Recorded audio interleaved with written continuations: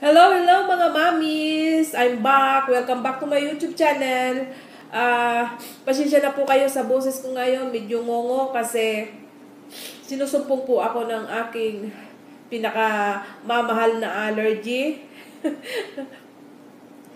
Ah, ngayon po ay magluluto ako ng pansit bato with pansit bihon. Ipapakita ko po sa inyo. Pero bago yan, sa mga bago lang dyan, sa mga hindi pa nag-subscribe sa akin, please subscribe and like and click the notification notification bell para updated kayo sa aking mga videos. Let's get started!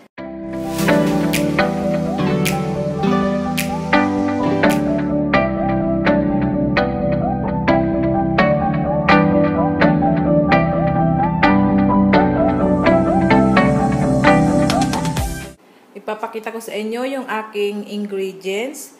Yung kasi kahapon may, yun lang nga sabi ko may leftover akong gulay at yung sabaw ng sa spring roll at yung chicken, yun ang gagamitin ko.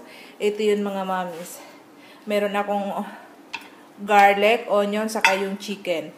Tapos, ito yung kahapon na tira sa spring roll, saka ito yung sabaw niya. Kung kailangan dagdagan ng toyo, maglalagay ako. At ito yung gamit ko, Supreme Golden Bihon. Dalawang hibla lang ito. Uh, isa lang ang gagamitin ko kasi may pansit bato pa ako na galing sa aming probinsya. Nadala ko nung umuwi ako. Paghaluin ko yung dalawa. Kaya, sana masarap. Ito pala sa Asian, uh, sa Filipino section ko nabili doon sa supermarket. Kaya, lagi akong bumibili nito, pero hindi ako bumibili ng yung apat na hibla. Dala-dalawang hibla lang. Kasi, minsan isa lang linuluto ko, marami-rami na rin siya. Kaya, ayan mga mamis, magigisa muna ako. At, ayan, gigisa ko. Magigisa ako. Nang, si, kamayin ko kasi ano, walang maghahawak ng camera. Ayan.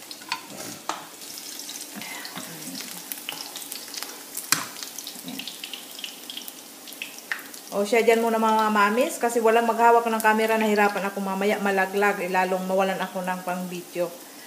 Mamaya ipapakita ko sa inyo. Ayan mga mamis, nalagay ko na yung chicken saka yung onion. Nahirapan kasi ako yung... Ayan, sinabay ko yung buto-buto kasi sayang. Pampalasa pa. Ayan. I-gisa-gisa muna natin ng unti. Tapos, mamaya ilalagay ko na yung sabaw. Hindi ko na sigurong ilagay yung sabaw. Sana tama yung ano. Ayan, lalagay ko na. Siguro hindi na ako hindi na kailangan mag-add ng ano ng toyo kasi pangit din yung maraming ano. Ayan, oh. Baka hindi na hindi na kailangan Map, ano na siya. Lalagyan ko pa ng unting tubig kasi 'di ba ma-consume yun sa ang pansit bato kasi makain sa tubig. Kaya, kailangan ko dagdagan unti. Linagyan ko naman ng, ano, ng yung din na chicken broth. Tapos, pakukuluin ko yan. Tapos, ilalagay ko na yung pansit sa kayong bihon. O siya, mga mami, dyan muna kayo, ha? Ayan, mga mami, ilalagay ko na. Kumukulo na. Okay na yung, pan, yung timpla. Ilalagay ko na to. Uh, pansit bato. Ayan.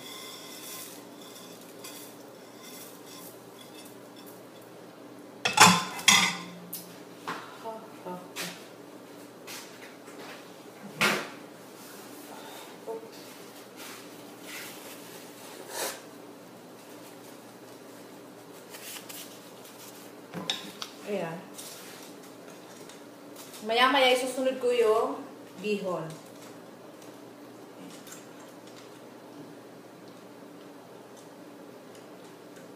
Sa mga hindi pa nakatikim dyan ng pansit bato, masarap po ito. Gawang bicol po ito.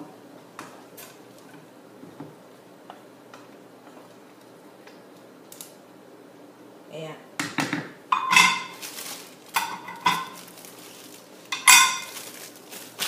Ito yung ano nito.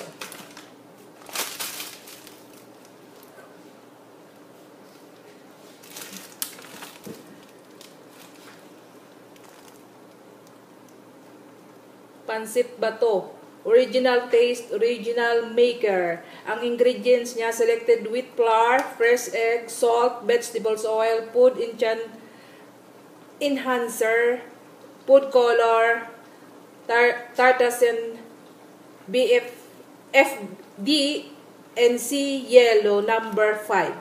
Yan. Manufactured by GC Segundo, Pansit Factory, San Miguel, Bato, Camar Camarines Sur. Landline 054-2774-368. Masarap siya mga mamis.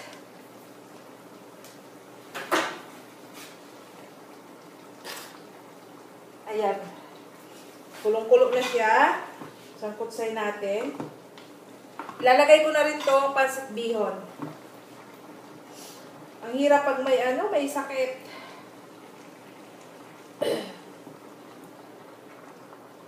Ito ang ano, nakuha ko dito, yung allergy. Wala naman ako dati dito. Sabi daw sa ano, yun nga, sa mga kimika, sa mga pang ginagamit natin na panglinis, matatapang, naniwala naman ako. Tapos, pag nakakaamoy ako ng matindi, yung matapang na amoy, ayun, susumpungin ako. Tapos, lalo na pag sunstorm. Ba't ayaw mag, ano, ayaw magtiwalag? Ayan. Ayaw magtiwalag ng bihon. Ayaw magtiwalag. Kailangan medyo low ang apoy para maayos ang pagkaluto. Ayan. Mamaya ko nilalagay yung gulay kasi luto naman na yan.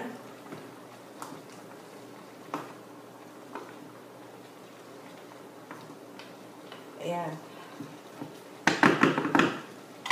Yan lang ang tanghalian ko. Hindi ko alam kung anong kakainin ni tatay mamaya. Ayan na mga mamis, luto na, look yummy. Saluhan niyo akong kumain. Mamaya. Hello mga mami, saluhan niyo ako sa aking pagkain. Ito na po yung aking pansit.